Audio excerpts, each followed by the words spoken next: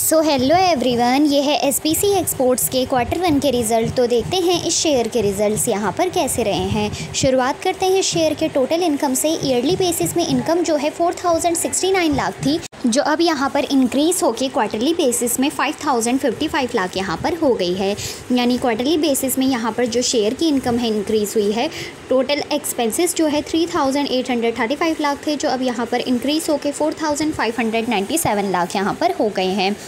Income के साथ साथ जो है एक्सपेंसेस भी यहाँ पर बढ़े हैं।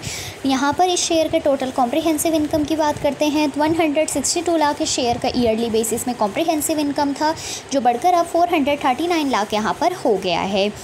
यानी कि टोटल कॉम्प्रिहेंसिव इनकम भी इनकम के साथ यहाँ पे इंक्रीज़ हुई है।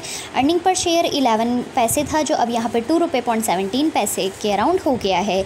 ओवरऑल तो यहाँ पर जो शेयर के रिज़ल्ट्स है, वो काफ़ी ज़्यादा बढ़िया आए हैं और इस मंथ तक का जो शेयर का मैक्सिमम टारगेट है यहाँ पे, वो आपको ट्वेंटी फाइव रुपये के अराउंड तो वैसे देखने को मिल ही जाएगा। वैसे अगर आप इस शेयर को यहाँ पर होल्ड करके रखना चाहते हैं तो अपने ओन रिस्क में इस शेयर को लॉन्ग टर्म के प्रस्पेक्टिव से होल्ड कर सकते हैं।